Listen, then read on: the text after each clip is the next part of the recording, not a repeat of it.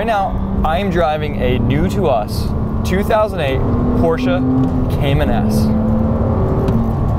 This car has 300 horsepower, 2,900 pounds, manual gearbox. It is Porsche at its simplest form. And we plan to take this underappreciated, underrated Porsche and bring it back to its roots and turn it into a proper stage rally car. And the first step in doing that is heading north up to New Hampshire, where we're gonna meet up with the team at Team O'Neil, and we're gonna put this car through its paces and properly shake it down before the build begins.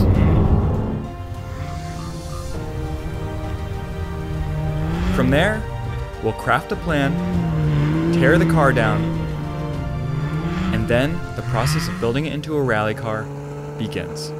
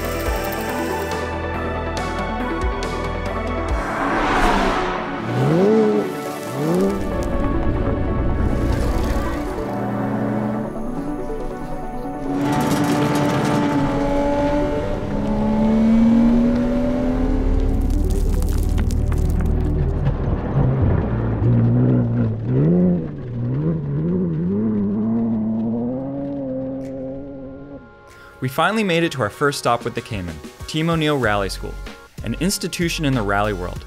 They've taught countless legends such as Travis Pastrana, Bucky Lasek, and even a guy by the name of Ken Block. We spent the day with ARA rally champion Wyatt Knox as he helped us get a feel for the car in its stock form and figured out what areas to focus on as we transformed it into a rally car.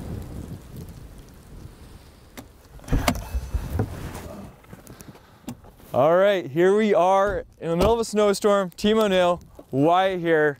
You've been ripping this thing all morning, sliding it sideways, kissing snowbanks. What do you think? Will this be a rally car? Uh, absolutely. Yeah, I mean, it's fantastic. I burned a half a tank through it, just uh, sliding around doing donuts, bouncing off the snowbanks, like you said. And it's really good. It's better than I ever thought it was going to be. Um, I think because it's mid-engine, the engine's fantastic. The rear diff works a lot better than I thought it would.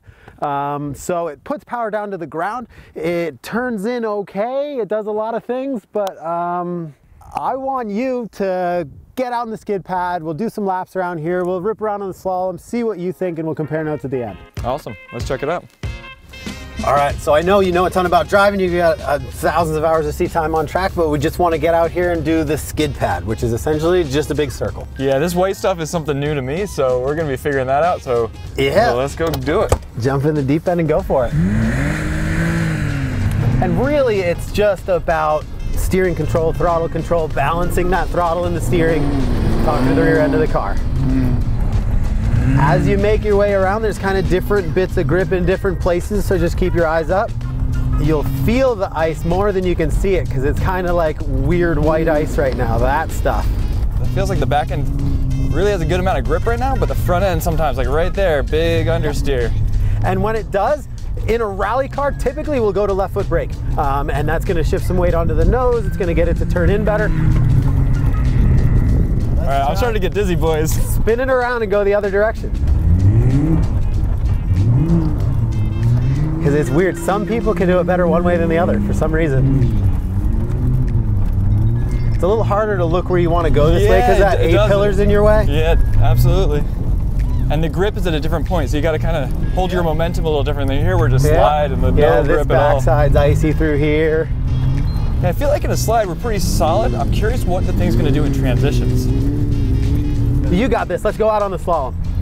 So the transitions with, you know, the mid-engine thing, it's a little bit of weight moving around. Let's just get a feel for it. A it. little understeer there, then a little oversteer. Okay, take this one. Just keep looking up. And yeah, predicting where it's pure white, it's gonna be icy. What are your thoughts after a couple of laps with the car? I mean, it's a really well balanced car, especially for a mid-engine car. I think, you know, I think we do need to work on that front grip on that initial transition, but it's not terrible. It, and like you said, the diff is fantastic, super consistent. Really don't have a complaint at all with the diff, especially for a street car. Pretty good. And don't forget too, rally car, handbrake's always an option. All you really need to know is rear wheel drive. You got to get the clutch in to use the handbrake so the engine doesn't stall. Because a rally car, really, being able to brake in a corner is super important. It's a really good surface to shake the car down too because if you can feel anything that's going on with it on this ice at, like you said, 40, 50 miles an hour on ice, any, any problem is going to be really glaring where you might not feel it so easily on pavement. You can tell it's just a little right over the first hill. And then this tightens up towards the end and you know right at the end it's going to be very slippery. Again, yeah, eyes looking through it. I mean, you couldn't even walk on that surface right now. That kind of is what it is, I think.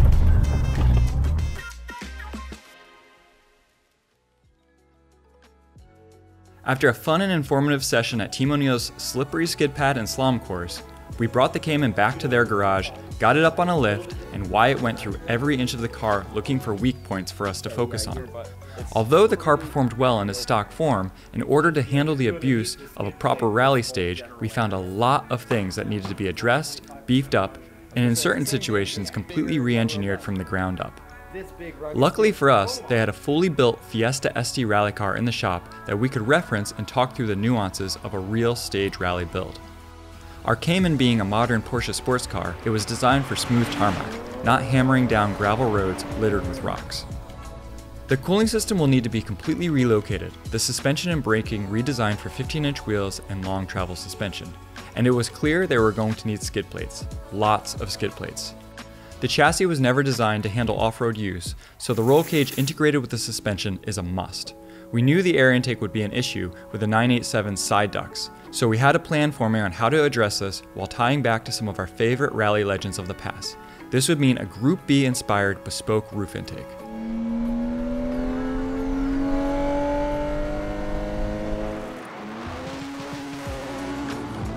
This won't just be a Porsche that can carry speed down a dirt road. We're preparing it for mud, jumps, streams, and whatever else the path less traveled might throw at it. Thank you so much to Wyatt, Chris, and everyone over at Team O'Neil for having us at their beautiful facility and showing us the ropes as we jumped two feet into rally.